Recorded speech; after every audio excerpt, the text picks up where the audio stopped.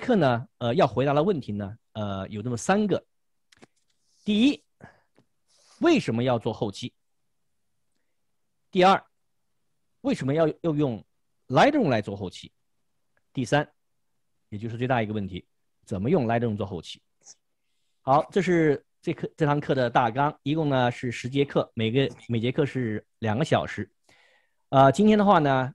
呃，大家看第一节课主要是来讲讲，呃，为什么要用 Lightroom 来做 Post，呃，Lightroom 的 Workflow 它的流程，以及呃，大概介绍一下 Lightroom 的 Workspace。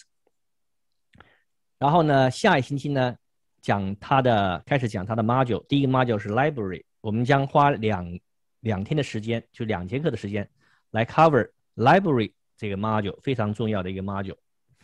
好，到了第四节课呢，开始。我们就要开始讲，呃，Lightroom 里面最重要的一个 module 叫 Develop，叫呃，中文叫编程吧，还是编编图？到了第八节课呢，我看还是第八节课哈，对，第八节课我们要讲一下怎么用呃，现在越来越多的这些 third-party plugin，就是不是 Adobe 的。这个软件当做 Lightroom 的插 plugin，就是插件，来呃和 Lightroom 一起来做后期。然后呢，到的第第九节课，我们再讲呃 Lightroom 的其他 module，包括 Map、Book、Slideshow 和 Print。然后呢，第十节课呢，实际上是一个一个 presentation 的一个课。呃，到时候的话呢，每一个同学都要通过 Photoshop，呃，不是 PhotoBook 和 Slideshow 来展示一下你是怎么通过这两个东西把你自己照的照片给大家展示一下，配上音乐啊，到时候看看吧，每个人是三分钟还是四分钟？啊，这就是这个课程的大纲。呃，谈的 schedule，我们准时七点半开始。七点半到九点，差不多是一个半小时左右吧，是我来讲。然后呢，九点到九点半是大家在一起做 exercise。所以呢，这为什么我在那个群里面说这堂课是一个 hands on 的一个一个课程？呃，你必须有 Lightroom installed，呃，因为我们要做很多练习。好，那咱们就开始第一课。我们为什么要做后期？很多人哈，特别是好有很多老老司机啊，他一说，从照相机出片才体现你是真正的老司机，对吧？构特别是构图，为什么要做后期呢？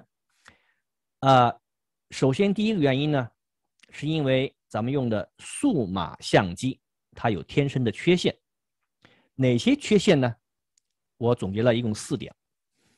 第一点，数码相机在颜色还原这个地方有欠缺。我上星期呢，呃，在那个另外一个讲座里面提到了哈，这个拜耳排列。现在的 CMOS 这个 sensor 传感器啊，用的基本上都是这个拜耳那个排列，它英文叫呃 Bayer filter。你要仔细看的话呢，它 RGB 这三原色，它用了两个 green。R G G B，大家看下面那个图哈，就知道它用那个绿的颜色啊，用了 double，用红的和 B 和那个 B 是 blue 哈，都是一个。所以呢，它这个数码相机的 CMOS sensor 啊，天生对这 green 呢，它还原有缺陷。当然了，我上节课也谈到了。现在随着这个堆战士，哦，上上节课我说错了一个字哈，不是堆剑士，应该堆战士。这个 CMOS，它有了新的技术，所以呢，有些最新的相机它用的不是这个拜耳排排列，而是有了 advanced 的拜耳排列。所以呢，那种相机对 green 还原呢就稍微好一些。好，这是第一点，颜色还原它有缺陷。还有一点，咱们每个人的眼睛呐，别看那么小，它能识别的颜色啊，不得了。咱们看看这个图哈，中间这个蓝色的三角形是 sRGB 它的那个 color space 的选择，然后呢，再看看外面那个稍微大一点的黄色的这个三角形，那是 Adobe 在一九九八年他发明的 Adobe RGB。这两个 color space 啊，相对于整个的 color space 外面一个椭圆形哈，相比它是还是有很多地方没有 cover 的，而最外面那个呢，是我们人眼可以看到的，而里头用照相机，一的用 sRGB 这个 color space，或者是 Adobe RGB 这个 space，它 cover 的颜色呢都是有业有限的。好，第二个缺陷，色彩呃色温还原，大家都知道哈，那个同一个场景，你因为这个白平衡的设置不一样呢，它出现的出来的效果呢是不一样的哈。你看看这个下面有一二三四，一共七个七张图，拍的是同一一座山，因为它的白平衡的设置不一样，所以它呈现的最后的效果是不一样的。数码相机呢，对这个 white balance 就是白平衡，咱们以后要讲的，呃，多多少少有偏差，所以这为什么我们需要在后期呢？你照完相以后，对这个白平衡进行处理，使它这个照片完完全全的体现你拍摄。那个照片的时候的这个色温。哦，by the way，那个这个 PowerPoint，呃，我每一节课上完课以后呢，我都会都会在那个 post 在群里头，大家都可以下载哈。呃，有一有一点要注意，就是说，呃，这个这个 PowerPoint 呢是几年前、两年前那写的，所以呢，我现在在花很多时间在 update。呃，所以呢，大家只要看讲过的课，那那那那个 PowerPoint 的 slide 是 update，其他的就不用看了哈。我会每次讲完课以后呢，呃，重新给大家发一次哈。大家只要看我们讲过的课的那个 slide 就可以了。好，第三个缺陷，数字信号受损。呃，大家也了解这个数码相机的过程哈，它是那个 CMOS 呢，通过呃光电二极管。capture the light，然后呢，通过这个处理器把它 convert 成这个电子信号，然后呢，再呃 either 通过 JPEG 或者是 RAW 这个 format 给存起来。它的信号受损呢，随时都可以发生，所以呢，你必须要通过后期给它处理，不然的话呢，它照片就会非常 soft，不够锐化，噪点也非常高。这是数电子信号。第四个呢？呃，就是噪点偏高，就是我们平常说的，呃，照片比较 noisy，很多麻点点哈。就像你，呃，用很高的 ISO 拍照的话，特别是拍那个舞台照哈，你不得不用这些，呃，三千二啊或六千四这个 ISO。这样的话呢，它噪点就偏高。为什么呢？因为现在这个相机厂商啊都在竞争，哎，标榜我这个 dynamic range 有多多高多高。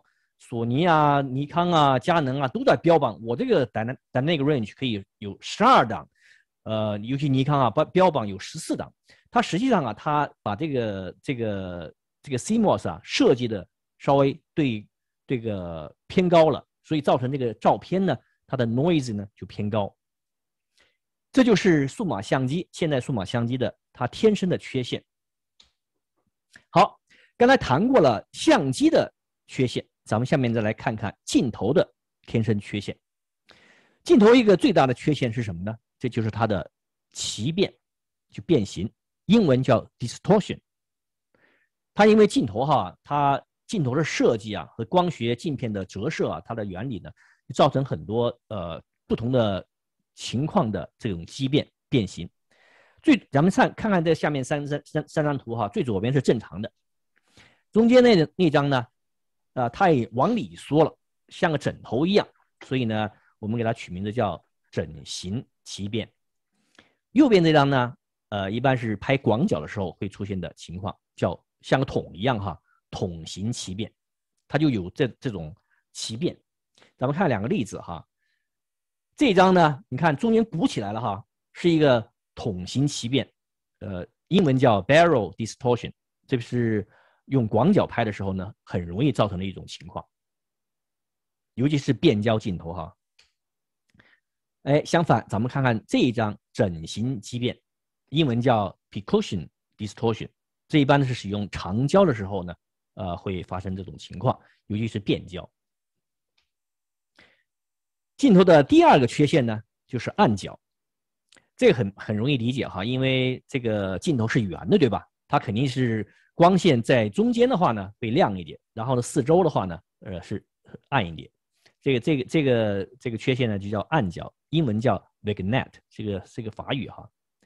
呃，话也说回来，呃，有时候拍人像的话呢，还还追求这种效果哈。像我有时候呃拍人像的话，假如说是一个人在中间的话呢，我还会用这个 Lightroom 去把它呃调成这种这种呃味道，这种 effect 效果，咱们以后会谈到哈。呃，镜头的另外一个缺陷呢，叫色散，呃，英文叫 chromatic aberration。它是什么意思呢？大家这个有点复杂，大家只要看到下面这张图就可以了。左边这张图呢，看到没有？这个树这是一个树枝哈，跟外面的这个白颜色之间呢，因为它的反差太大，所以呢，它就会出现紫边。所以呢，有的中国呃呃，在在国内的话，有人把它叫紫边。容易出现的一个是紫边，还有一个是绿边，这种情况呢就叫色散。它的原理其实很简单，就是因为它不同的颜色，这个光啊，它呃这个有不同的波长，它通过这个那个透镜的折射呢，呃会出现这种情况。假如你这个镜头啊，呃比比较便宜，哎，它就会出现这种情况，特别是在大光圈的时候。这就为什么要讲到这个尼康啊，呃，不是尼康啊，佳能啊，它出出来这种 L 系列哈，它前面有一个红圈，大家都知道哈，那种镜头叫 L 系列，它为什么贵呢？比一般的镜头要贵出一倍来呢？哎，它就因为它里面这个镜头里头啊，用了这个 UD 芯片，这 UD 的话呢，它就会减少这个色散，所以它贵的是有道理的哈。哎。这种情况的话呢，Lightroom 也可以通过后期给你处理。好，咱们讲到了，呃，相机的四大天生缺陷和镜头的三大缺陷。所以呢，回答刚才给大家提出问题，第一点，第一个答案就是弥补数码相机和镜头的缺陷，这是我们为什么要做后期的第一个原因。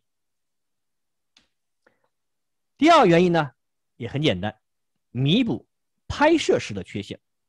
哎，我说，哎呦，刚才我这个镜头抢到了，但是呢，我的光圈太小了，所以呢，照出来照片呢有点黑。或者是在拍舞台照的时候，哎，这个动作我也拍到了，但是呢，我用了 ISO 非常高，这个这张照片呢非常的噪点非常多。哎，没办法，没关系，我们可以通过后期。对这些拍摄时候呢所出现的缺陷进行弥补，这就是我们要做后期的第二个原因。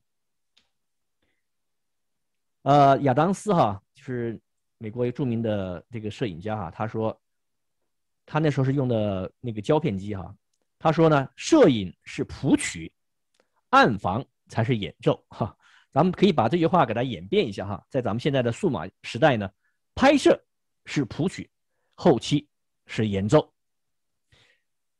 呃，刚才谈到了后期可以弥补一些在拍摄时候呢，由于器材啊、呃参数啊、光线呐、机位呀、色调啊等等不同，呃各种不同的缺陷所造成的这个遗憾，这个都可以通过后期来弥补。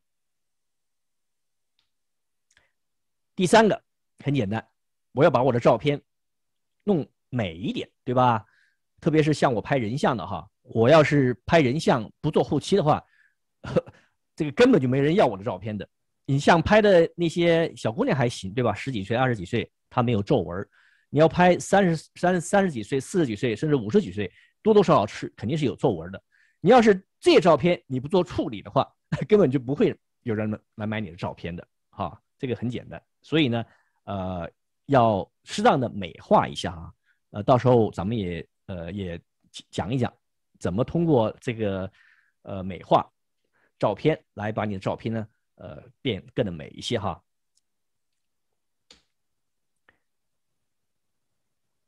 尤其现在哈，这个各种滤镜呢是越来越多哈。好，最后一个原因呢，就是实现第二次创作。尤其有人喜欢搞艺术摄影哈，呃，比如说天空上没有没有这个飞机啊，我加一个飞机啊，呃，我拍鸟的时候，哎，这个鸟好像只有只有一一只鸟，我给它加加上两只鸟。实现这个我的艺术创作，对吧？这个呢，你必须要通过后期来实现。这个呢是特别在艺术摄影和商业摄影呢，呃，特别追求哈，他要追求这种艺术创意。但是呢，呃，拍纪实摄影、人文摄影、新闻摄影呢是不能做的哈。你参加比赛的话，他都会告诉你，呃，这次比赛呢能不能用 Photoshop 来呃。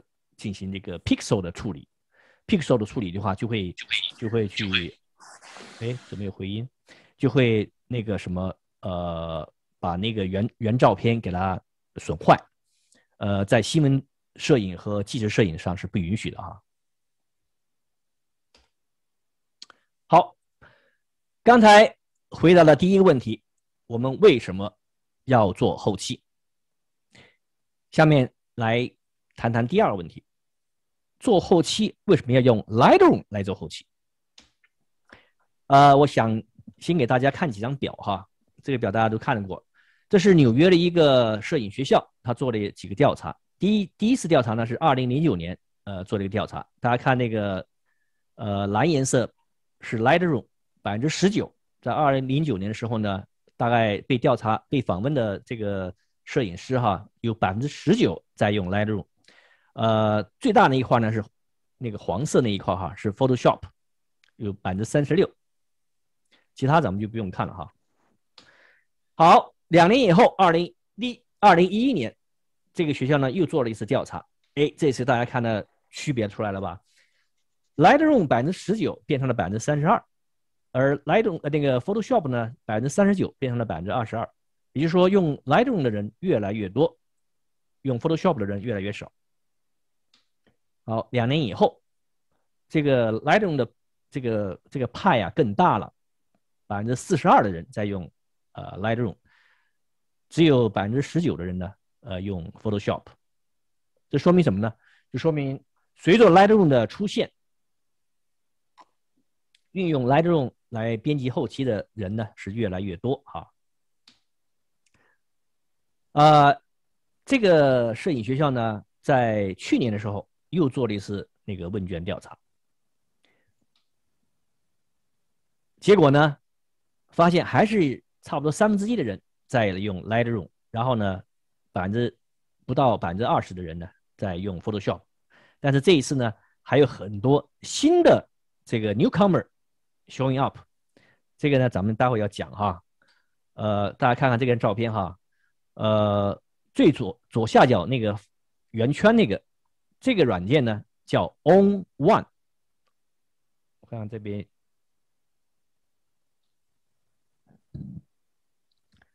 一二三四五，第右边哈第五个叫 On One，这个是呃现在越来越 popular 的一个软件，呃有时候的话呢，我自己我自己也有这个软件哈，这样吧，我我把我把这个软件打开给大家看一看，大家有一个概念哈。On One，这就是 On One 这个软件的界面，它跟那个 Lightroom 呢是非常相似的，它的功能呢，呃，也跟 Lightroom 非常接近。当然了，它完不能完全的来代替这个 Lightroom 哈。呃，这是一个软件，然后呢？再回到这张图哈，中间这个叫 Lumina Four，它现在版本是第第四个，这个呢也是非常越来越 popular 一个一个软件。呃，我给我也我这个也有这个软件哈，我给大家看一看。它呢也是跟那个呃 Lightroom 非常相似。当然了，它的也不是也跟刚才的 On One 一样，不能百分之百的来 replace 这个 Lightroom。这就为什么我几个软件都在都在同时用。当然呢，呃，假如说你跟我一样非常讨厌 Adobe 的这种做法，就每个月要交钱哈，给他交交个十块钱，你可以考虑就是说，哎，买这些软件，这个软件一次性交交就付完了，你就不用每个月交交钱了。我看这个软件还没打开，这个。这样吧，等等，待会待会打开以后呢，我再给大家看一看，看看什么样子。下面呢，咱们来看一看哈，这个把 Photoshop 和 Lightroom 呢相比较一下，看看他们各自的优缺点。呃，很多人哈，我觉得，尤其是很多这个初学者呢，他有个误区，他一谈一听到要做后期，哎，就去。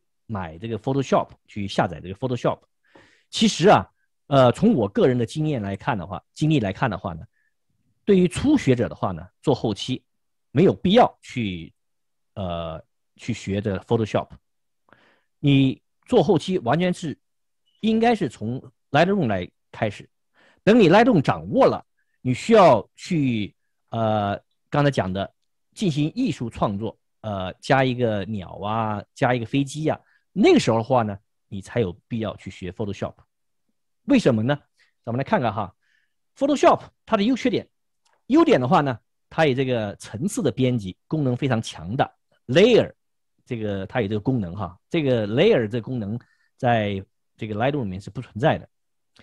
啊，它有非常多的编辑绘绘图工具，在图像啊、图形啊、文字啊、视频啊都有很多功能。它有 Action。有动作功能，呃，刚才讲了，它可以增加或者减少物体，就是说对 pixel 进行呃修改，适合照片的重新创作，这是 Photoshop 的这个优点。它的缺点，呃，比较贵，这是原来的在它 Adobe 实行实行这个这个订阅服务的之前的价钱哈。然后呢，它批量处理能力不够，就是说它同时不能去编辑多张照片。而这个呢，在 Lightroom 是可以达到的。好，它不能管理照片。哎，这个呢是在 Lightroom 里面是可以的。呃，大家这样有个总 overall 的 picture。Lightroom 它有两个最大的功能，一个呢编辑照片，of course；再一个呢，它是叫管理照片，它有两大功能。而 Photoshop 呢？它只有第一个功能，就是编辑照片，它没有这个编辑呃管理照片的这功能。哟，我太太有意见，说我声音太大了。好，我啊我我太高亢了。好，我我我看不到一点。好，然后呢，呃，Photoshop 一个最大的缺点就是什么呢？它的 learning curve 啊太高了，太点太陡了，不容易掌握。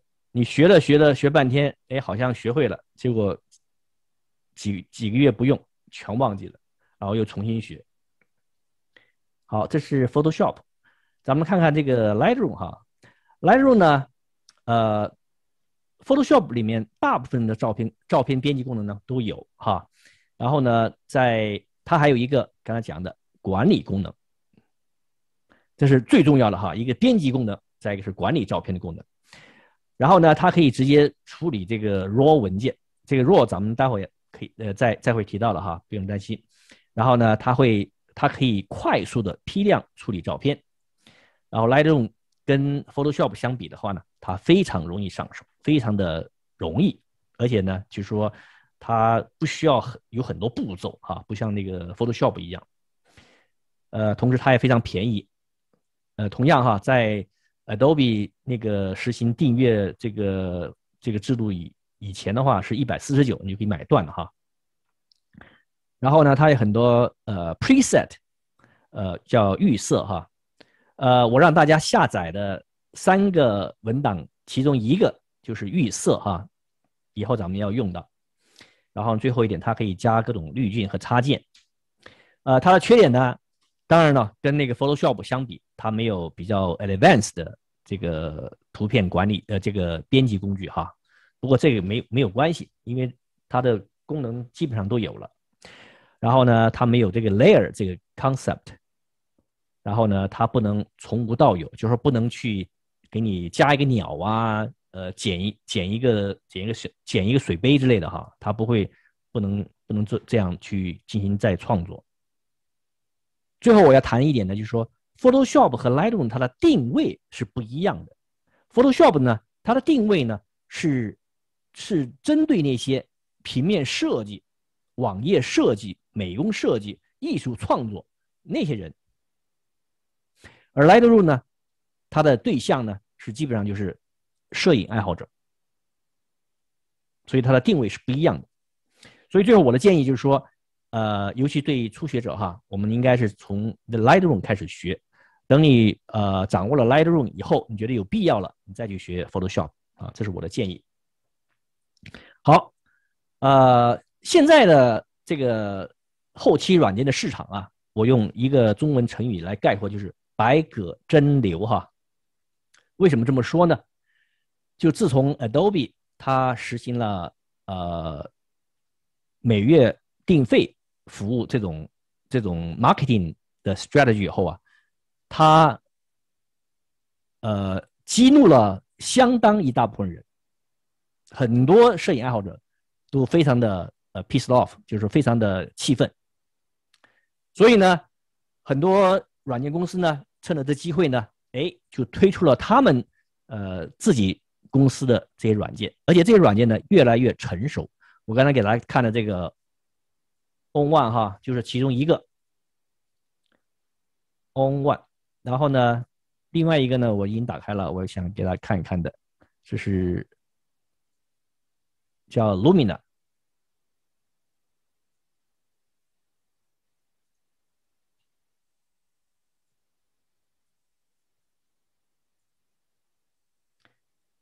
这个是 Lumina，Lumina 呢也是跟这个呃 On One 一样，有相似的结构哈。这个左边呢、右边呢，还有下面这个叫 Film Strip 啊，跟那个 Lightroom 的那个界面是非常类似的哈。呃，Lumina 呢，我看看怎么来才能让大家看到这个这个名字哈啊，在这儿啊，Lumina，Lumina 去年呢出了一个出发布了一个非常火的一个软件。它号称是人工智能在后在那个在那个后期软件里面，它也叫 Lumina AI，Lumina 人工智能，它有些效果是非常好的，这个我也买了哈，我把这个打开给大家看一看。但是呢，Lumina AI 的话呢，它只是一给你提供一些呃 filter preset 滤镜，它不能像那个 Lumina Four 或者是刚才咱们讲的 On One。它的管理编辑照呃管理照片，它只是一个编辑照片，给你提供一些滤镜啊。呃，这个 Lumina AI 它一个最有名的就是呃一键换天空，我不知道大家看没看过我那个一个视频哈，就是说你 click 一下，它完全可以把你的天空给变换了，这就是它的运用的这个人工智能的这个这个技术来达到的。所以呢，也可以这么说，Lumina AI 的话。它是，呃，现在的第一个 based on 人人工智能的一个后期软件。我估计我把这个 Lumina 打开，它 Lumina AI 就打不开了啊。我把它关上，然后呢，再试试哈。好，这就为什么我给大家说的白白葛蒸馏。现在在这个软件市场啊，是越来越多的这个软件呃 available。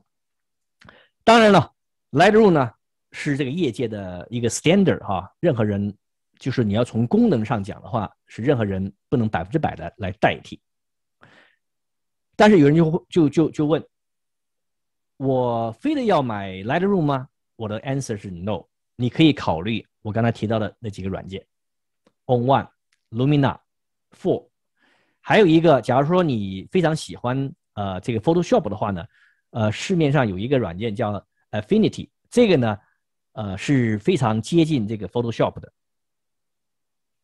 这个这些软件都是都是一次性买断的。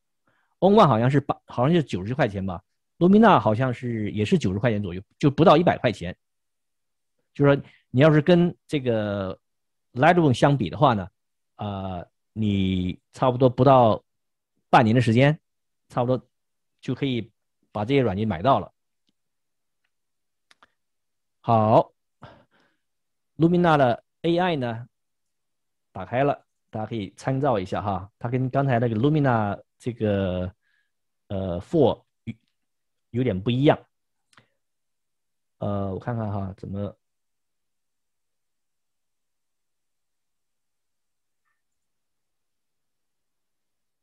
？Take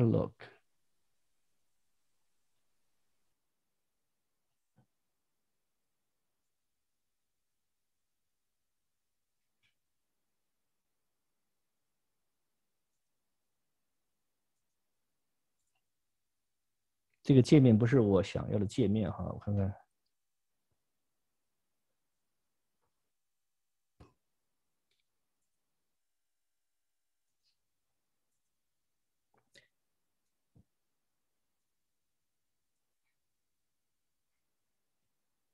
这样吧，呃，咱们以后假如说大家感兴趣的话，我可以就是在第七堂课，呃，就是那堂课里面，呃，讲一讲这几个软件大概的一些操作过程哈。咱们今天就不花时间了。我希望呢，给大家提些建议哈，就是说希望大家给自己哈，呃，约法三章吧。既然大家要学这个后期哈，呃，肯定是下定了决心的。所以呢，我想给大家制定一个 guideline。首先，第一呢，呃，一定要用 RAW 格式来拍照，呃，再也不允许，再也不要用这个 JPEG 去拍照啊。我待会会讲为什么这个两者的区别哈。是第二呢，再也不要给任何人发送没有做后期处理的照片，任何照片。都要经过 Lightroom 去处理一下，然后呢，最后一点，希望你照片里的人和风景变得更美一些，啊，我希望大家呢都能啊用这些概览呢约来约束自己，好不好？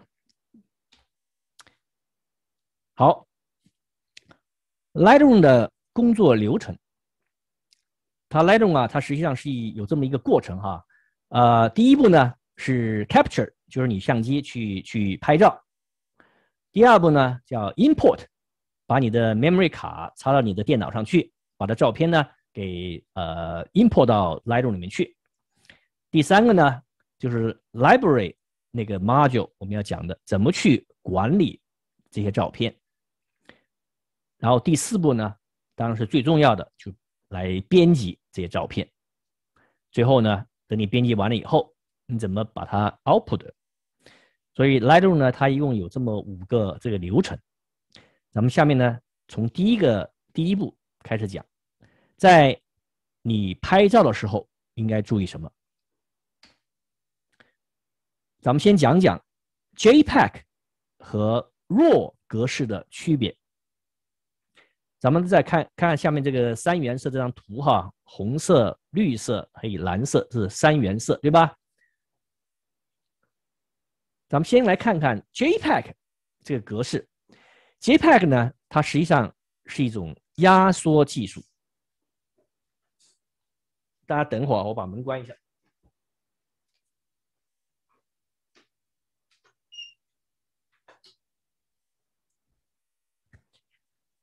它 JPEG 呢是一种压缩技术哈，它这个技术呢只 support 八个 bit 的 color，就说。红、绿、蓝这三原色，它每个原色呢只 support 八个 bit。咱们这里边学理工科的人很多哈，八个 bit 是什么概念呢？你用二的八次方得到的是两百五十六，所以呢，你有两百五十六个呃 red 去 multiply 二百五十六个 green，再去 multiply 再乘以这个二百五十六个。呃，blue，所以相乘的话呢，你得到一个十六点八个 million 的 color。哟，你觉得这个 JPEG 的 support color 非常多啊？Wait a minute，咱们看一看 RAW 它能 support 多少 color？RAW 的话呢，它是能 support 16 bit。大家用同样的这个这个运算来算一下，二的十六次方等于六万五千五百三十六。你把这三三个六万五千五百三十六乘一下，你得出的这个 color 这个 number 啊，是 huge 二百八十一个缺点。这是 RAW 格式能 support 的这个 color。一比较的话呢，哟，讨厌的了。一比较的话呢，这个 JPEG 它 support 卡呢就显得非常少了。所以呢，JPEG 呢它很容易出现一种呃 problem 一个状况。这个英文字呢叫 bending，什么意思呢？就是从一个颜色过渡到另外一个颜色呢，你会看到中间有一条很明显的一条线，这种情况就说明它的 color 啊不够多。大家网在网上可以经常看到这种照片哈，它一个 color 跟另外一个 color 有很明显一条有一条线哈，这就是 JPEG 的一个 problem。好，咱们来看看 JPEG 和 RAW 的。这个两种格式的这个优缺点，JPEG，它是一个 standard 的一个 format，一个标准的一个 format。刚才讲过了，它是一个 com compressed，是压缩技术。它的 size 呢非常小，然后呢，但是它的这个动态范围啊，dynamic range 也比较低。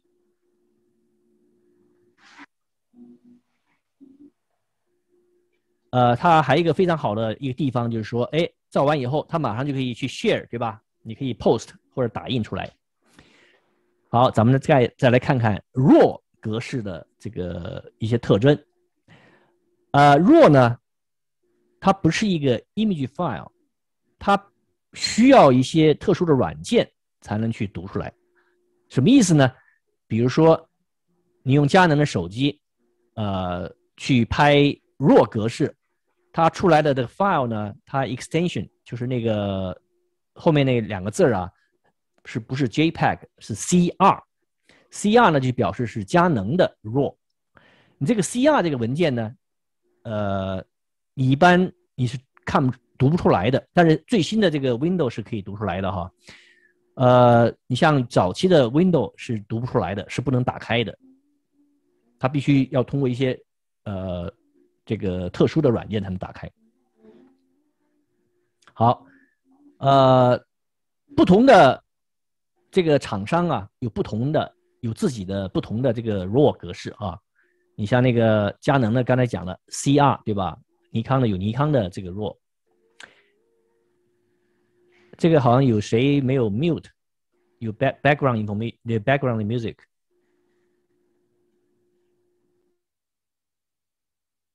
好，下面有一点非常重要，我用红字标出来了哈。它呢，这个 RAW 格式啊，是一个 lossless 的一个 format。这个字非常重要，就是说，它你用 RAW 格式去拍照的话呢，它照相机这个这个 CMOS sensor 能把所有的 information 都能记录下来。这什么意思呢？我刚才前面也提到了一点。假如说你拍照的时候光圈用的不够大，哎，比较暗，没关系，我所有的 information 都在这个 RAW 格式里头，这就意味着我可以通过后期把它光线给拉拉亮一些。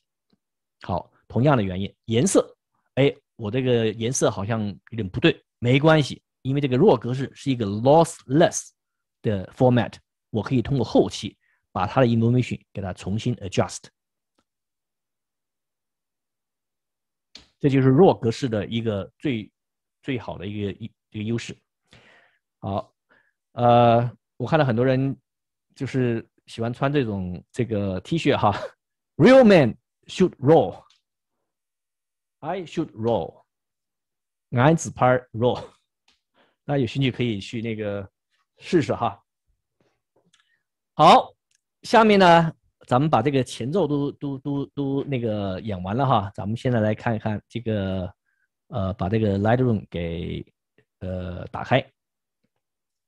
好，假如说你现在手里是这个 Classic 的版本的话呢，就按照我刚才说的，到这个 File，然后呢点击一下 New Catalog，这 Catalog 实际上就是就是一个 Database，然后我再走一遍哈，它会出现这个界面，然后呢让你呃打敲一个这个 Database 的名字，咱们都统一用这个 Lightroom Training，好不好？然后呢，click 建立，这样的话呢，那么你最左上角这个 Lightroom 这个界面上面就应该是这个 database 的名字。OK，好，那行，那咱们就继续讲哈。好，这个呢就是哎，田老师，我能不能插一句？哎，你说。嗯，我通常用 Lightroom 的时候，我其实没有 create 那个 catalog，我就是用那个导入导入照照片和那个对呃 import 那个把把把事先的一个 folder 导进来就可以做了。对，就我觉得这个可能所有的界面上都有。对，呃，这个 import import 的那个呃，我知道 folder，呃 import video，对。这个我我以后会讲到哈，我现在也讲一下，就说假如说你你不不走这一步的话呢，你就是用它 default 的一个 catalog，它就自己给你创了一个 catalog，呃，这样的话呢也可以，但是呢，假如说你照片呢越来越多，这样的话呢，你 database 里面呃呃一个 database 里面拥有的照片太多的话呢，就会 slow down the performance，所以我一般建议呢，就是说。一般过个两年，你就应该去 create 一个新的 database，不然的话呢，你就会发现 Lightroom 是越来越慢，越来越慢。好，另外呢，就说你自己 create 一个 database 的话呢，这样的话你就知道你在什么地方，你怎么去去去去那个什么，呃呃 manipulate，呃，甚至你可以每次照完相以后，你都 create 一个 database。都都可以，但但是的话呢，这儿太多的 database 呢，不利于咱们以后要讲的这个管理。OK，下面呢，我大概的把这个界面呢给大家讲一下哈。呃，这个菜单呢，大家都看到吗？File、Edit、Library、Photo、Metadata，这是菜单。然后呢，下面这一行呢。叫 nameplate，这个呢，咱们要做个练习的，把这个你们看到呢是就是 Lightroom 对吧？我咱们下节课呢要做个练习，怎么把你的名字加上去？这样的话呢，假如你跟顾客做 presentation 的时候呢，就显得非常的 professional 对吧？可以把你自己的名字写上去，或者是你的 studio 的名字写上去哈。好，咱们再往右看，右上角的话呢。我刚才已经讲过一次了，就是这个 Lightroom 里面的 module 的名字啊，包括 Library、Develop、Map、呃 Book、Slideshow、Print、Web。哎，我想问一下，就是那些呃下载了那个 Classic 的那那些朋友，你的 module 名字是跟着一样的吧？一样的，一样的。OK，太好了。好，这是 module 名字。有个地方一定要注意，不同的 module 它有不同的功能，它有些功能只有在你 click the correct module 以后才有才能 work。比如说吧，咱们待会儿要学的 import 导入这个功能，只有在你 click library 这个时候呢才有作用。假如说你不小心 click 这个 develop 这个 module 的话呢，哎，对不起，你这个 import 这个 function 就不 work，所以这些地方大家一定要记住。假如说你，哎呦，这个这个 shortcut，我待会会讲给大家介绍一些 shortcut 哈。哎，这个 shortcut 应该是 import shortcut，为什么不 work 呀？原因很简单，因为你不是在 library 下面做 import，而是在 develop 下面做。OK，好，咱们再看看，回到这个 library，再看看左边。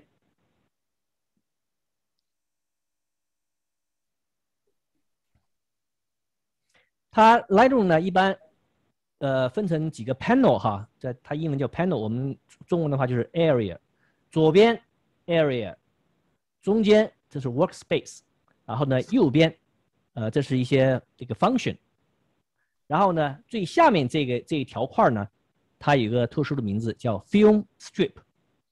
好，咱们再看看左边这个 panel，现在是 library module 下面哈，所以咱们看到的是 navigator，从上到下哈，catalog。这个三角呢，你可以点击一下，它就会 expand，就会扩大，或者是呃缩小啊。包括 navigator、catalog、folder 和 collection，还有一些这个 media，这些这是 library 下面的。大家仔细看一下哈，假如我点击这个编辑这个 module 的话呢，哎，它左边就变就会变了哈。点击一下，它就变成 navigator。Preset Snapshot History Collection，就是说它左边和右边，它随着你选择的不同的 module，它会有变化。好，好，咱们再看看右边。右边的话呢，它主要是这个 Keyword，还有 Metadata。下面呢，Film Strip。就是把你这个 folder 里面所有的照片呢都 display 出来啊，你有有那个这个 bar 呢来拖，往右拖，往左拖都可以哈。好，下面呢，呃，我教大家几个 shortcut。shortcut 的话呢，呃，有些 shortcut 是一定要记住的，有些 shortcut 呢你不一定要记住，但是呢，记住这些 shortcut 呢会缩短你的编辑时间啊。咱们现在要介绍的 shortcut 呢。是这个键盘的 tap，就是 T。哎，田老师，哎，不好意思，我打断一下，那个我有一个问题，我我我这个现在就没有你这就是这些照片，是因为我还没有 import 吗？哎，对，没错，待会儿我们再 import，现在不要 import。OK，好，好，你现在看的是空白对吧？对，好，没关系，咱们待会儿马上就 import，我先把这界面讲完哈。好，呃。咱们现在呢，第一个 shortcut 呢叫 Tab，大家都看到你自己键盘的 Tab 吧，Tab，你摁一下，会发生什么情况？左边和右边的 panel 都 disappear。你再摁一下，它又回来了，是不是？对的。OK，好，这就是第一个 shortcut，它会一有时候你的照片呃就是比较复杂哈。你需要把这个左边、右边那个 panel 啊，都给它 hide 起来，然后这样的话，你可能更能 concentrate 你中间的照片，你就可以用这个办法啊。好，我看看哈，咱们下面咱们就呃做一下 import 好吧？呃，大家都按照我的 guideline 都把那个那个三个 folder 都下载到你的 desktop 上，是不是？我现在正在下那个 Lightroom 那个 Classic。OK，其他其他人呢，都有这个这个那个三个 folder 在你的 desktop 上，对吧？咱们现在要做 import 哈，就是说 import 是它是一个什么概念呢？它实际上就是把你所照的照片给导入到 Lightroom 里面去。这个导入呢，它有两层含义。第一含义呢，它是 physically 把这个照片呢移动到 Lightroom 里面去。好，有人就会问：假如说我的照片已经在我的 computer 上，我不想再移一次怎么办呢？哎，Lightroom 就允许你你这么做啊。咱们这有两种不同的这个这个导入哈，咱们看一看。呃，第二个 shortcut 我让大家一定要记住的呢，就是这个 import 这个 function 的 shortcut，因为咱们要用这个 Lightroom 非常呃非常多的这 import，所以我希望大家都能记住这个下面这个非常重要的 shortcut，呃，叫中文叫什么叫快捷键哈，呃，Shift Control 用左手摁下去，同时右手摁一下 I。Stand for import。再讲一遍，左手摁一下 Shift 和 Control，右手摁一下 I，这样的话呢，它就会出现这个 import 的界面。大家看到这个这个 Zoom 这个界面，看到没有？Yes，看到。OK，好。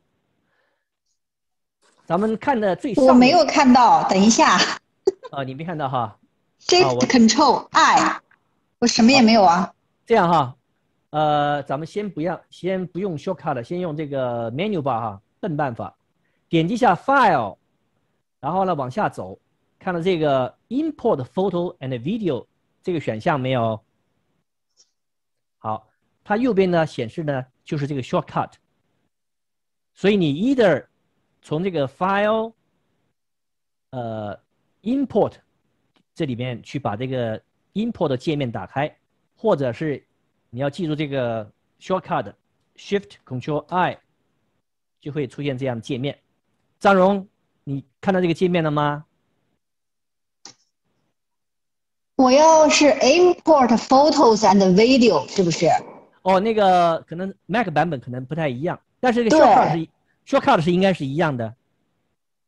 呃，也不太一样。不太一样。对，哦，那个那个那个那个苹果 iMac 的 Control 是不一样是啊，Macintosh 不一样，它那个不 work。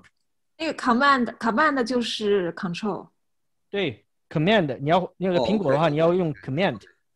对对，要 Shift Command I。OK，啊，这个地方要讲一下哈，就说它 Got 这个设计，它这个苹果 iMac 和这个 Windows 版本哈，它 shortcut 的地方是不太一样的，甚至包括这个这个 menu option 也不太一样，所以这个地方大家稍微的要注意一点哈。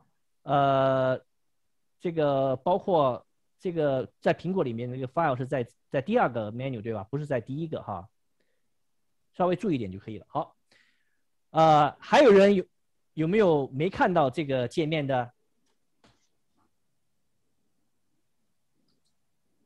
大家都看到了是吧？好，太棒了。好，咱们看看中间我鼠标记住的呃那个指的地方哈，有四个选项，你只要 pay attention to copy and add。我刚才讲了，你 import 的时候呢，有两种情况。第一种情况呢，你的照片是刚从这个照相机的 memory 卡取出来，你记你的那个 computer 里面还没有这照片，这种情况呢，你就要用 copy。你点击 copy 的时候，下面它已经给你解释了，copy photo to a new location and add to catalog，对吧？这时候呢，你注意到它右边这个 panel 它的出现的 menu option 是不一样的。好，咱们来仔细看看这个 panel 哈。左边是你的 source，中边是你将选择的这个照片，咱们待会儿看哈。右边呢是我们叫 destination，很直观哈。左边 source，中间是你要选的照片，然后呢右边是 destination。好，大家都把你下载的那个照片的 folder 在你 desktop 上面找出来。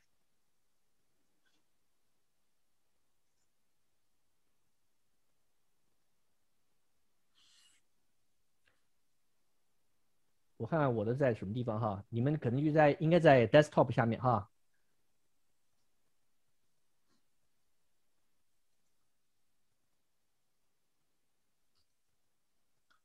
我呢，跟你们的一手不太一样。他点击这个 picture 这个 folder 以后呢，他就会把这个 folder 里面的所有的照片给你 display 出来。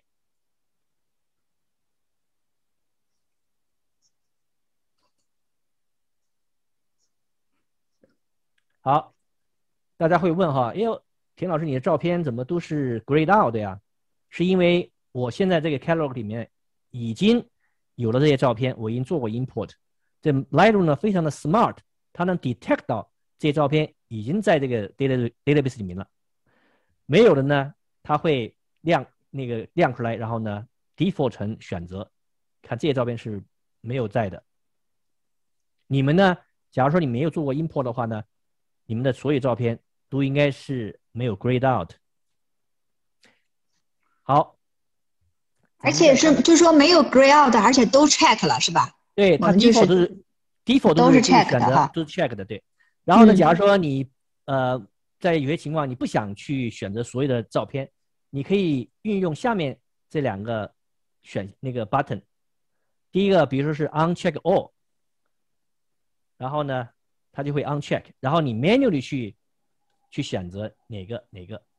这个照片哈、因为已经存在你的 desktop 上，对吧？已经在你电脑上了，所以呢，大家呢应该选择 copy 还是选应该选择 add 呀？应该是 add 吧？对，因为你不想 physically 再把照片移动，对吧？所以呢，应该选择 add。一选择 add 的时候呢，大家注意到右边这个 destination 就非常简单了，它没有呃刚才咱们看到的那些 folder 啊什么之类的。我再点击一下，让大家比较一下哈。我点击 copy 的时候，哎，右边的 destination 这个 panel 呢就有非常多的选项，对吧？这个呢，咱们下节课再做另外一次这个那个 import 的时候呢，咱们再仔细的讲哈。今天的话呢，大家呃，咱们做一个简单的 import，大家都选用这个 add，它的意思就是说，你把这些照片已经在你电脑上的，只是把它加入到这个 Lightroom 里面的 database，without physically copy over，只是 create 一个 link。就是说这些照片呢，还是存在 physically 存在你的 desktop 上面，并没有把它整个照片 physical file copy 到 Lightroom 里面去，它只是有一个 reference 在 Lightroom 里面。好，哎，田丹哎，请讲。啊，我有一个问题，我那个 download 的照片哦，是存在那个 external drive，然后 OK，嗯，那个是要用 add 还是用 copy？那现在我就我就想问你，你现在是想把那些照片从 external drive 重新弄到你的这个 desk 那个这个电脑上吗？还是说你是想？对对，那假如说你想 physically 移动的话呢，那么就应该用 copy 这个 option。copy 啊，OK 啊，谢谢。好，呃，你没有把它弄到你你的 desktop 上是吧？没有，没有哈。哎，存在呃那个 external drive。行，那你就用你自己用一下这个 copy 吧。copy 呢比较复杂，因为那个我是我是准备在下一堂课再讲。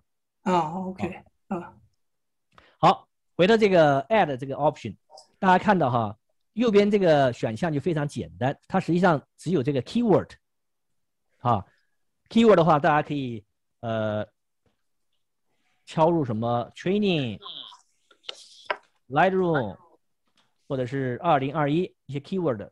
Keyword 这个 concept 在 Lightroom 里面是非常重要的，它可以，你假如说你 import 照片的时候呢，呃，把这些 keyword 建立起来以后，你到了后后面的这个编辑照片、管理照片的时候呢，就非常有用。你可以通过这些 keyword，能把你上万张照片，从上万张照片里面很迅速的把你需要的照片很快的找到啊，就是通过这些 keyword 来找到的。OK，那今天的话，大家就就 enter 这三个 keyword 哈，training、Lightroom、twenty twenty one。make sure 你所有的照片都选项都选了哈，因为我我已经 import 过了，我就不选了。好，最后呢，呃，大家哎，田老师，打断一下，不好意思啊。没事儿，嗯，现在就是说，你看，这不是 add 完了以后呢，他说上面是 to my catalog，对不对？就就像你这个上面 to my catalog，对吧？对，那这个 catalog 是不是就是刚才我们 create 那个 catalog？啊，没错，就是就是就是我的 top 我 top label 上面显示的是 L R underscore training 对，你看我的看我的鼠 I 标 R 器，cat 看我的鼠标器，这是你的嗯 catalog，你 database。哦，OK OK，好，OK OK 好，这就是我的这个 catalog 哈。呃，对，就是你的 database，你的数据库。好，大家完了以后呢，点击一下 Import，我先 cancel 哈，然后这样的话，你就会看到这个 bar，看到我箭头哈，bar 它 progress，然后呢，你所有的照片一共有每个人应该有五十四张照片，都会 import 到你的数据库里面。Enable address lookup。呃，可能没有五十四号，是我多了几张照片，我个。你们是几张照？呃六十多张，六十多张，对对，没错没错，嗯。五十五张。呃，是这样，我后来告诉大家，我加了几张照片。哟，那我没关系，没关系。这样你呃下完课以后，你再重新下载一下，哦，OK，然后呢再重新 import。呃，again 就说 Lightroom 非常 smart 哈，假如你重新再 import 的话呢，它会知道哪些照片已经 import 的，它只会把那些新的照片给 highlight 起来，你选择那些 highlight 照片就可以了哈。但是 make sure 你要用到同样的数据库，用用同样的 catalog，好。OK，那我就是 open 那个 catalog 就可以了哈，完了再做哈。呃，是这样，就说你今天呃下完课以后，你把它关上，你重新打的话呢，它会重新把你 previous 的那个 catalog 打开，OK，嗯，所以你不用不用管它。好，好老师，我有个问题。请讲。哦，那个我 import 的照片，它出现一个窗口，问我要不要 enable address lookup。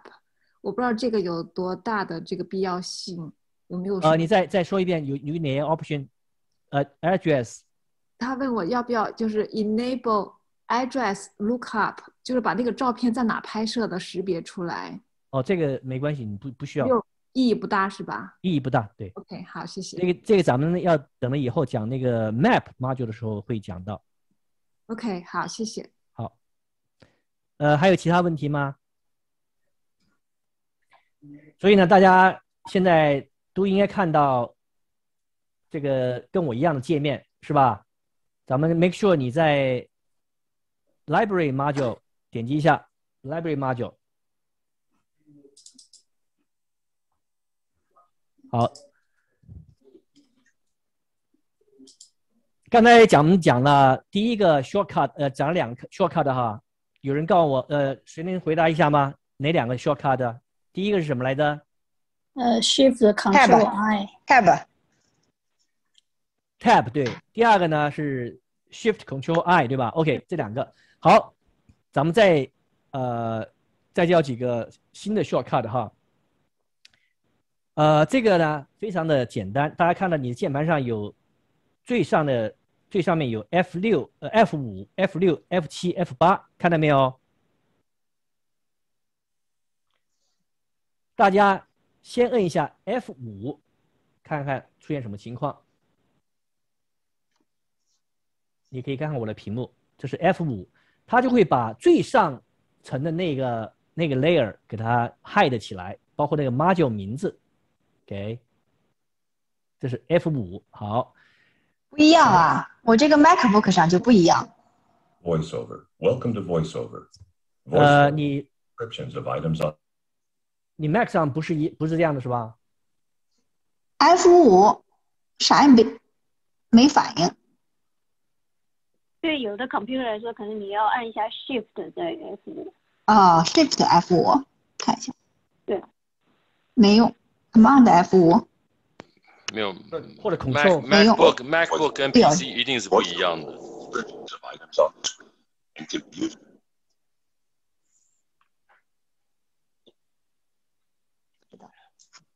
哪一个呢？这什么？是干嘛的？你我看看，我看看。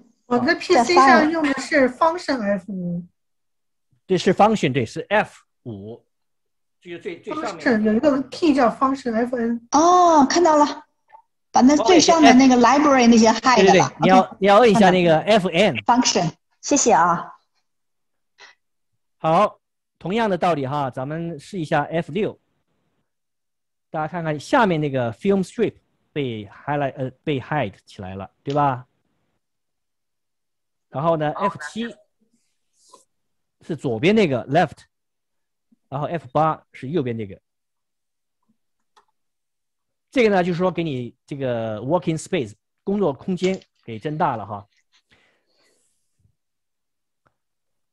然后还有一个就是 Shift Tab，这个 MacBook 上应该是也应该是我看看 Shift Shift Tab，它就会把所有的 Left、Right、Up and Down 都给 hide 起来。OK，这样的话，你的你的那个工作空间是最大的了啊。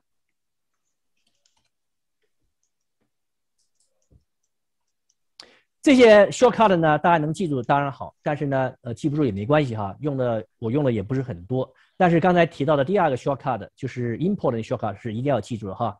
还有一个 shortcut，呃，我希望大家能记住的呢，就是 L，就是 light 那个第一个字母 L，大家点击摁一下这个 L key，大家看到什么呢？就会发现这个照片以外的。这个地方呢，都变成了 dim 了，都变暗了，对吧？这种情况呢，就是说你把照片编辑完了以后，你想看看这个效果，这是非常有用的。特别是什么？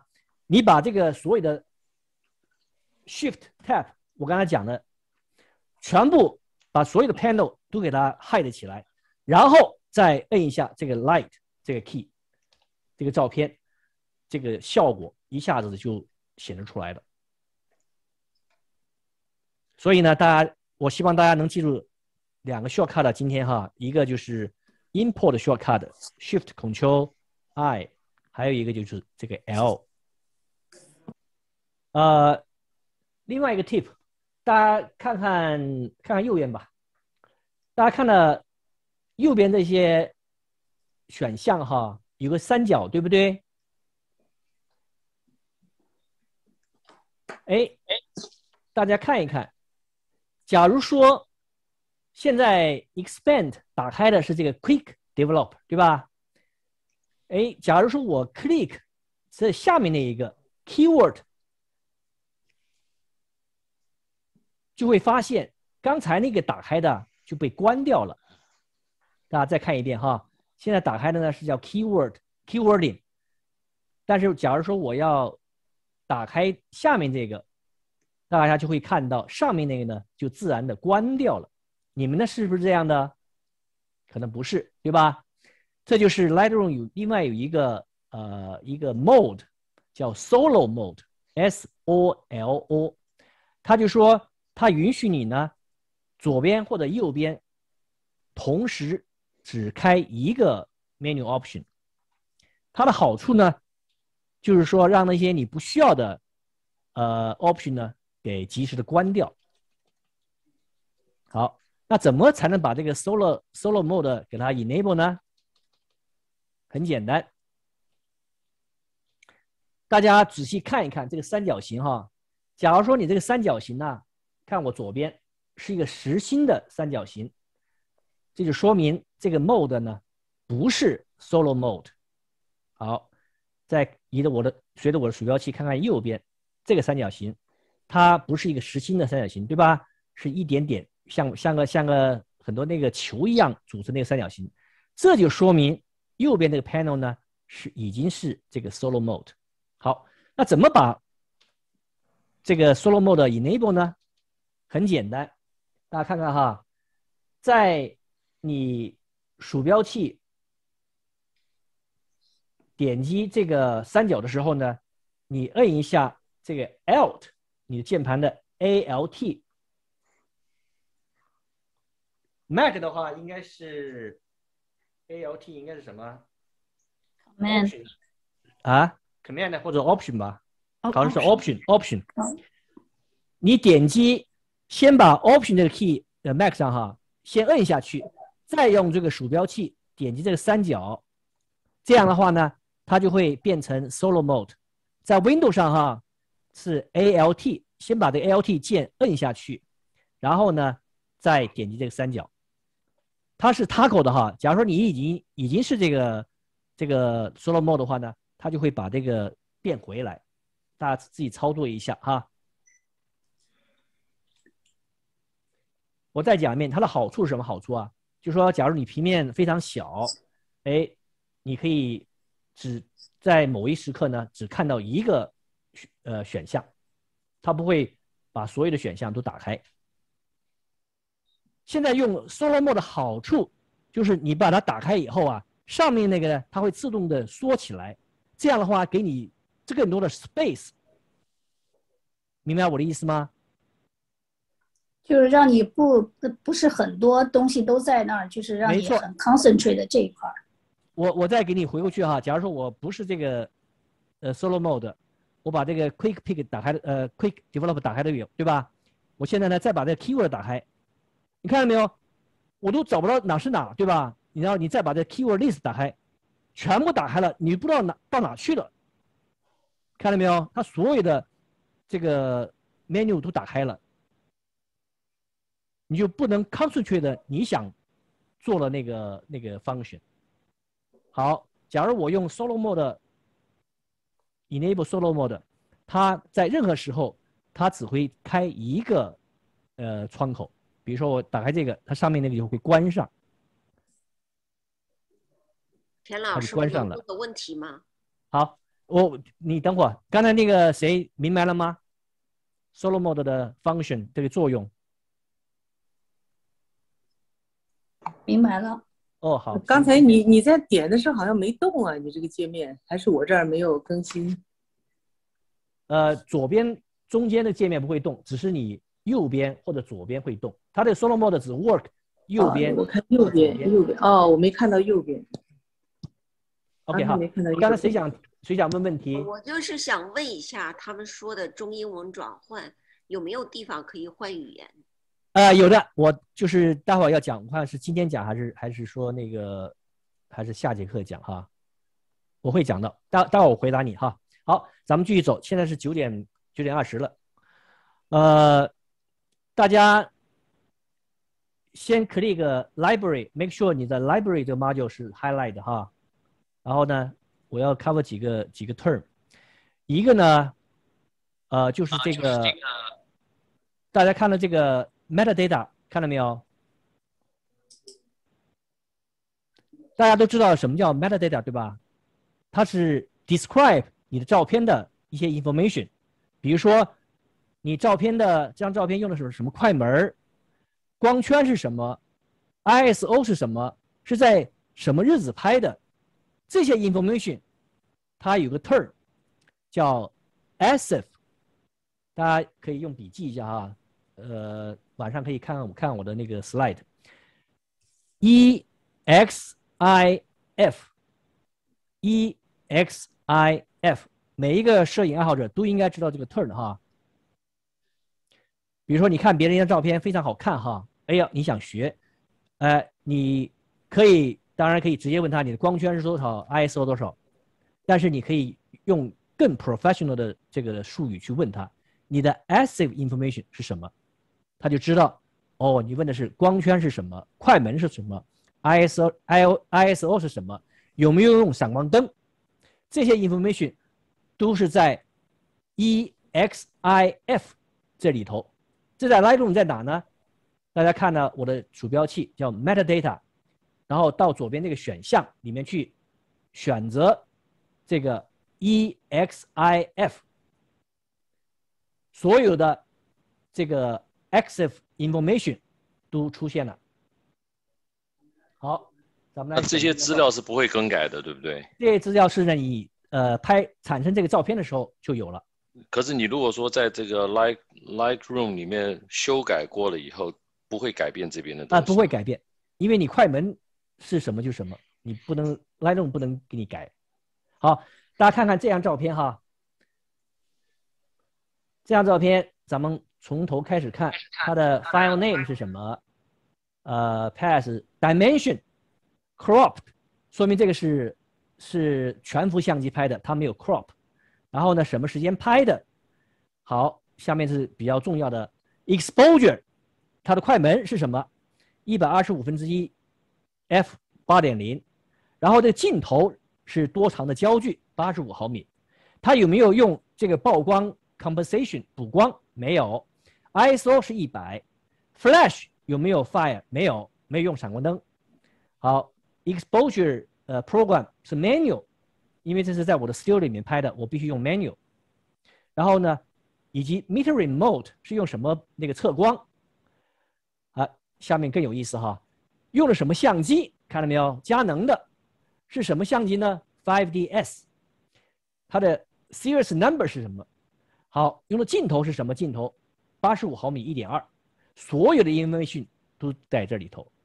呃，我当时用的是 5DS 哈，它没有 GPS 这个 information。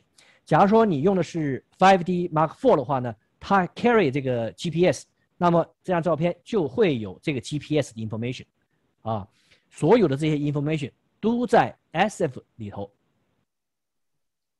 好，这是 SF。另外一个 term 我要讲的呢，大家再回到这个 metadata 里面的另外一个叫 IPTC，大家重新记一下 IP 就 IPTC，它 stand for International Press Telecommunication Council。这里头有些什么 information 呢？这里头有 copyright。假如说你是一个比较 concern 这个 copyright 这个这个摄影师。那么呢，你就可以在这里头。假如说你在相机里没有设置 copyright 的话，这里头是不会有的。但是这种情况，你可以在 Lightroom 里面去把这个 copyright 给加上。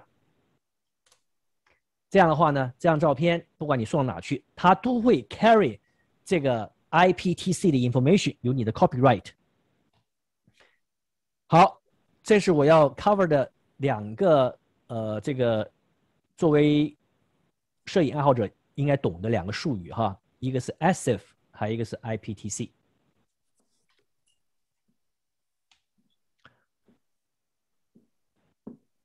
呃，下面呢，我想跟大家一起做一个这个练习哈。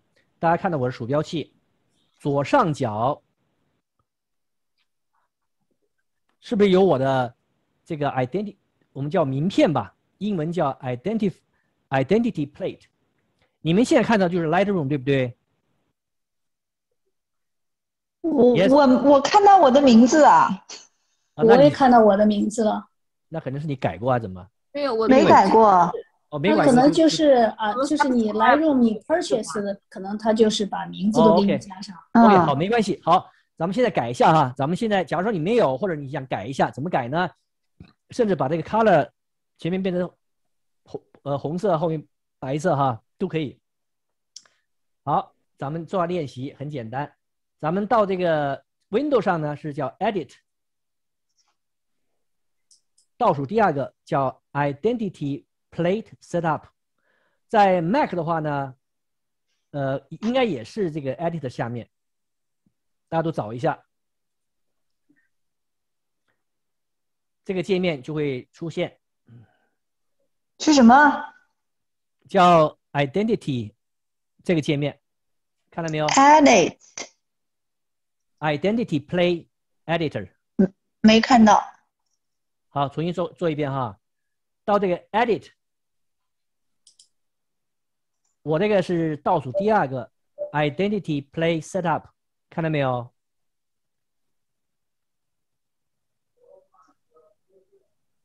等一下啊，我看，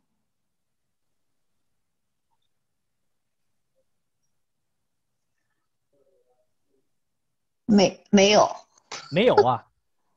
哦，Select 没有。呃，你可能到 File 下面有没有找到？呃，我知道 Mac Mac 可能不太一样，但是肯定是有这个选项的。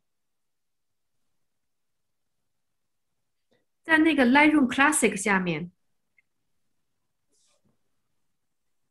对，我们都是用那个这个 classic preference 不是 catalog setting identity 哦 identity plate setup 对对对，在左上角的第一个哦不不在 edit 里头，在那个 Lightroom classic 里头。OK，你们那可能不太一样。OK，好。好，选了以后呢，就应该看到这样一个界面。好，这个地方你可以，比如说你可以弄得 fancy 点哈，你的名字写上 studio，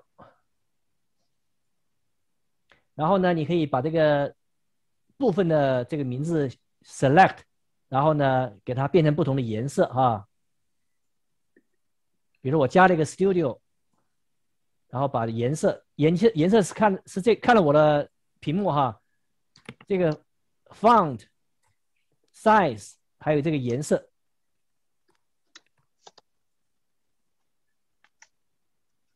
右边这一块不要去 touch 哈，右边是把这个 module 名字给它变化，咱们不用不用管它。好，我这个没颜色在哪儿啊？颜色就是下面这个字儿下面一个就是 font 对吧？还有一个是什么 regular，还有一个是大小，最后一个就是颜色。哦，OK。好，click OK。好，那么你的这个名片，Lightroom 的名片就会 update。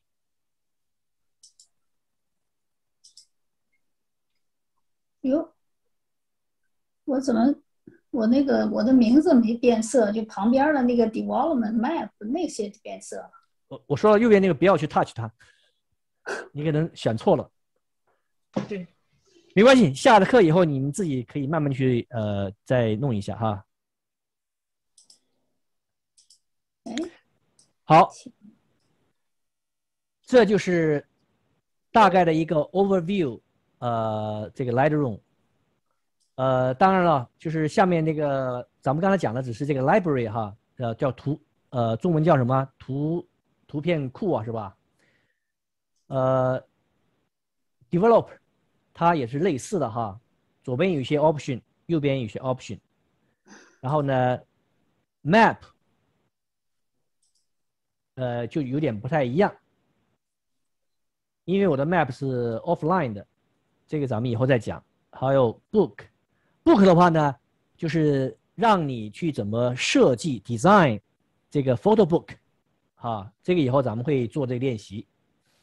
还有这个 slide show Slide show 咱们刚才讲过哈，要最后每个人要自己做一个那个用自己照的照片做一个 slide show 哈，最后要给大家做 presentation 哈，加上音乐。好，这是 slide show，然后呢，后面还有 print，print 大家呃用的可能用得到的呢，就是。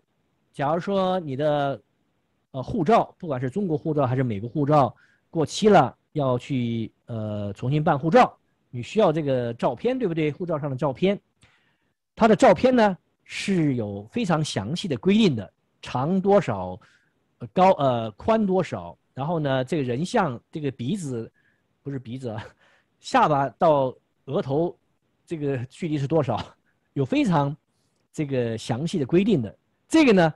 就可以通过 Lightroom 的 Print 这个 module 去给呃 achieve 啊，然后 Web 呢就是一些 social media，咱们这个就不不讲哈，这个咱们就给它省掉。最后我看看，今天我要给大家教授的另外一个，我叫我我叫我把它叫做 Life Saving Tip，为什么？因为我花了整整六个月的时间才 figure out，毫不夸张哈，我花了六个月的时间才 realize something wrong。大家都知道哈，大家的这个 computer 啊都有中文输入，对不对？嘿，假如你在用 Lightroom 的时候不小心这个中文输输入是 turn on 的话呢，那么你的一些 shortcut 就不会 work。给大家举个例子哈，大家看了我的鼠标，右下角现在是英文，对吧？假如说不小心我给它弄成中文了，对吧？咱们有打中文的那个习惯。假如说你这个 mode 是中文的话呢，那么你敲任何的，呃，不是任何的哈，有一些很多的这个 shortcut 就不会 work。刚开始的时候我非常的就说，哎，怎么不怎么不工作啊？怎么不工作啊？是我弄错了还是怎么之类的？非常的 frustrated，花了我整整六个月的时间才 realize，当你碰到这种情况的时候，哎，首先你要想到的话，我是不是把中文的输入给 turn on 了？OK，把它变成英文，这样的话呢，你的一些 shortcut 就会 work。今天免费教给大家这个 tip 哈，花了我花了六个时间呃六月的时间才让我 figure out 出来。好，咱们今天要 cover 的内容呢就是这样。下面呢，咱们再回顾一下哈，咱们今天讲的这个内容。我每堂课呢都安排了一些这个练习题哈。它的 purpose 就是来 review，呃，大家来抢答吧，好吧？咱们从第一第一题开始，呃，是不是大家都可以把这个这个声音给 unmute 起来？所有的人都把声音 unmute。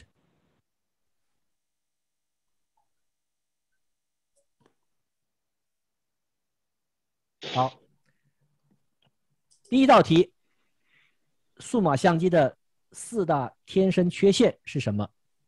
谁来抢答？Claudia，呃，它有呃绿色的还原有缺陷，颜色还原呃，然后呃 color space 呃有缺陷，对色温还原就是 white balance 也有缺陷。对，色温还原有缺陷。对，呃，我我就能想起这几个。啊，不错不错。还有镜头的镜头的。呃，没有，现在没有谈了镜头，现在没谈镜头，现在只是谈相机。好，再谁谁再补充一下，张荣。不记得了，记记得你说什么 distortion 什么东西？那个镜头，咱们还没到。哦镜头。还有两个缺陷，convert to 那个 JPEG 那个会会有损失，还有 noise 那个对，dynamic 就是 range 就是电子信号，数码数码相机的信哦号会受损受损。还有最后一个是什么？呃 Noise Sherry noise 对 noise，因为它厂商为了竞争嘛，说我的标榜我的那个动态范围广嘛，它就会造成这个非常 noisy。好，呃，我看看刚才那个谁是张荣谈到了镜头哈，那行，镜头的三个缺陷是什么？看其中有一个不是那个 distortion 那个那个图。Distortion 啊，没错，好，还有一个有黑角、暗角。哎，对，黑角，嗯，还有那个色偏有那个紫边那个呃。对了，chromatic 呃呃呃呃 chromatic 呃 aberration aberration，好，yeah。好，咱们来看第二题，JPEG 和 RAW 分别能支持多少 color？大概一个数据，JPEG 是多少？二五多少个 million？二五六乘二五六乘二五六，对，十呃八个二 million。对，那个 row 是二的这个十六次，三十二三十二。二。百二，八十一个缺点哈，好，对，好，第三个问题，RAW 和 JPEG 格式对后期的一个最根本的区别是什么？一个是 last less，对，张荣，哎呦，学的不错哈，记住了哈。我在那个这个 slide 里面用红字表示的哈，大家一定要记住 lossless。这就为什么，假如你准备做后期的话呢，呃，就一定要用 RAW 格式，这样的话，呃，大部分这些 information 都能还原哈。呃，假如是你用的 JPEG 格式的话呢，那就对不起，你就很多东西就不能还原了。咱们到时候会会做那些练习的哈，包括这个白平衡都不能还原了。假如你用了 JPEG 格式。好，第四题，呃，请列举 Lightroom 之外的三个什么后期软件比较 popular 了？现在我刚才提到了几个 Illumina Four、，Lumina On Four、One、On One、Affinity。Affinity，好，great。大家假如说你跟我一样比较痛恨这个 Adobe 的 Lightroom 的话呢，呃，你可以考虑呃这些软件哈，花不到一百块钱就可以把它整个版本买下来，不需要去再这个付钱。好，第五道题，哦，这个我没有讲哈，没关系，我下咱们下节课再讲，今天没有时间了。第六题，在什么地方 Lightroom 可以找到光圈快门 ISO 参数？呃，metadata 叫什么？metadata x 哎，有个有个 term 叫什么？呃，ESIF。Great, great, yeah, yeah，一定要记住哈。大家自称为那个摄影爱好者，对这个术语一定要懂哈。就是哎，你的 SF 是 information 是什么样的？我想起来，包括那些你要参赛的话呢，它的表格上都会有这一有这有有这套那个有这个问，就是你的 SF 是什么样的？哎，你就知道哦，他问的是快门光圈。好，第二部分，什么地方输入 copyright？IPTC 哦，在 app，IPTC，IPTC 好，哦，IPTC 好，第七题，呃，怎么 enable 和 disable solo mode？大家都知道了吧？Alt 加上那对个表，好的，好，第九题咱们刚刚做过哈，create your own identity plate。好，第十题，呃，就是一些 shortcut，怎么 hide，呃，左边的 panel 啊 F 五 F 六 F F 六呃 F F 七，F 六是下面那个 film strip，F 七是左边的，F 八是右边的，对吧？嗯，好，第二第二第二部分，怎么 hide 怎么 show 和 hide 所有的 panel 有个 shortcut。Shift 加上 Tab Yes, Light Shift 加上 Tab。好，呃，然后呢，All Panel。好，最后一个 shortcut 怎么 dim 这个 light？假如你编辑完了以后，L，呃，我刚才没有提到哈，L 的话呢，你可以摁两下，第一下呢，周围都会归有那个灰颜色，对吧？嗯然后你再摁一下的话呢，周围都变成黑色了哈。然后你再摁第三下的话，它又回来了，它是个 taco。好，不错，看来大家都掌握了哈。好，我布置一下呃作业哈。今天呢，咱们讲到了呃 import 里头的第一个方法，就是说不 physically 移动这个照片，然后做 import，对吧？下下节课呢，我们要讲到比较复杂的一个 import，就是呃 simulate 你刚照完相，把那个 memory 卡插到这你的电脑上去。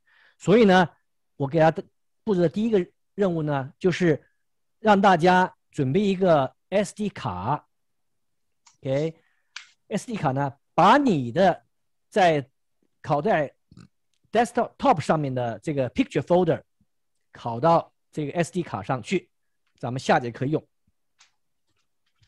清楚了吧？就把你这个给我们发的照片拷到 SD 卡上。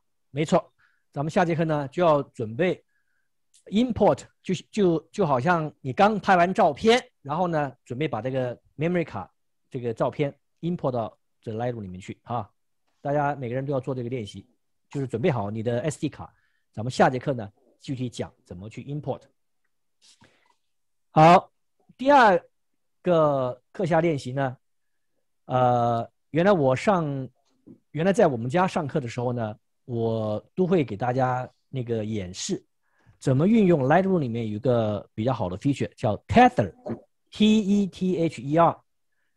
大家在电视里面看到很多摄影师哈，他拍照的时候啊，他手他那个照相机会连连连着一根长长的线，这个线呢，either 接到一个 laptop 或者接到电视上去，它就是运用了这个 tether 这个 feature。呃，我下节课呢我会讲到这个 tether feature，因为大家在 Zoom 上上课哈，所以呢不太好演示怎么去呃用这个 feature，所以呢我希望大家呢下课以后呢可以尝试一下，能不能用上这个 feature 啊？这个 feature 在什么地方呢？呃，在 Windows 版本呢是在在 File 下面叫 Tethered Capture 这个 function。呃，iMac 的话，估计也是类似的，在 File 下面。也在 file 下面。对的。对，OK，好，Tether Capture，大家下了课以后呢，可以自己试一试哈。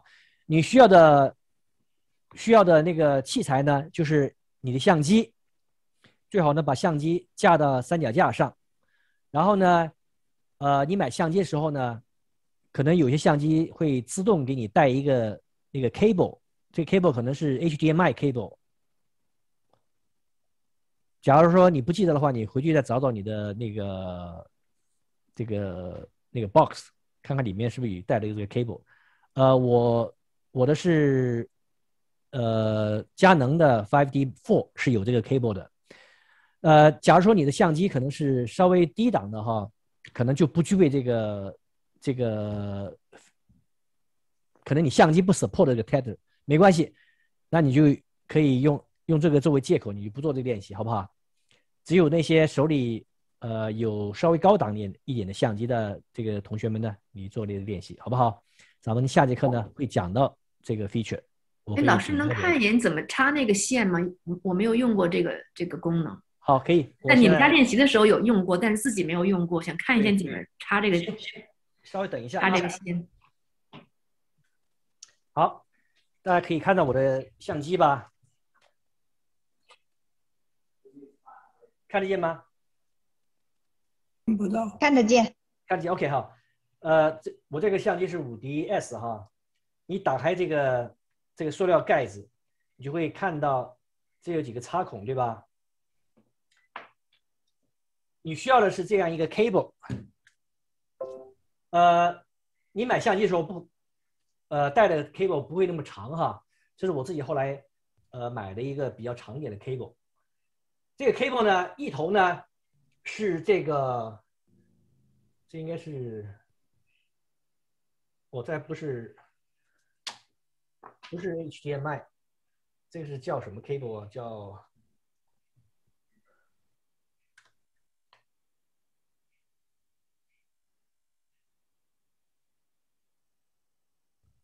它是分成两段哈，中间中间压了一下，看到没有？它正好是插到下面这个地方，这一头是接的这个相机，然后呢，这个 cable 的另外一端呢是一个 USB，这个 USB 呢接到哪去呢？接到这个 laptop 的 USB，随便用哪个。然后呢，这个 laptop 上面呢，呃，有这个 Lightroom 啊，然后你就把这个 Lightroom 打开，然后呢，把到刚才我给大家讲的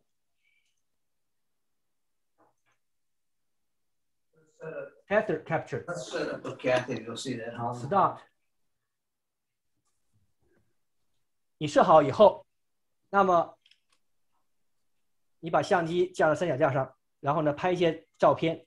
你拍完以后，它这个这个照相机啊，就会自动的把这个照的照片通过这个 cable 传到这个 laptop 上去啊。这种情况特别特别适合哪种那个呢？比如说你帮呃你的一些朋友啊或者 customer 拍照的时候，他要马上知道，哎，刚才拍的怎么样？哎，你就可以通过这种办法来达到这个目的啊。这是 Five DS，我们看看这个 Five D Four，应该是一样的哈。这个 cable 呢，我待会儿查一下哈，这看这个这个名字叫什么，插进去那个自动的 import 到那个 catalog 吗？什么意思？就是你照完以后，它自动的 import 到你的现在的呃 catalog 吗？哦，它不是，它是你打开 Lightroom 是用了哪个 catalog，它就会 import 到那个那个呃数据库去。对，就是 OK。对，就是你选择的时候，你不需要呃选择哪个，你你已经把那个 Lightroom 打开了，对不对？他就他就用那个你已经打开的那个数据库。OK，好，好像那个那个 port 叫 micro B micro B B A B C 的 B 是吧 yeah？OK，行，那就说，假如说你有这个设备的话呢，呃，大家可以做练习啊，没有这个设备就算了，好吧？好，那就是这就是我要今天要讲的，呃，内容很多哈，呃，大家最好回去要复习一下。我今晚上就会把这个这个 PowerPoint 的 slide 呢，呃，放到 Google Drive 上去，大家可以下载下来。可以问一个问题吗？可以，呃，我想问一下，嗯，我的那个嗯照相机照出来是 CR3 的呃 RAW format，但是我的那个呃 We 嗯 Lightroom 呃 does not support that，so 根据我是我每次在用的时候呢，我是用 CRG 然后 convert DNG file，然后再做，这是个对的方法还是不对的方法？还是还有其他更好的方法吗？好，这是一个很普遍的问题哈，就是说你的 Lightroom 呢不够新，对，你的相机比较新，对吧？你对相机是什么新？是什么？呃，是 EOR 呃 EOS R Canon。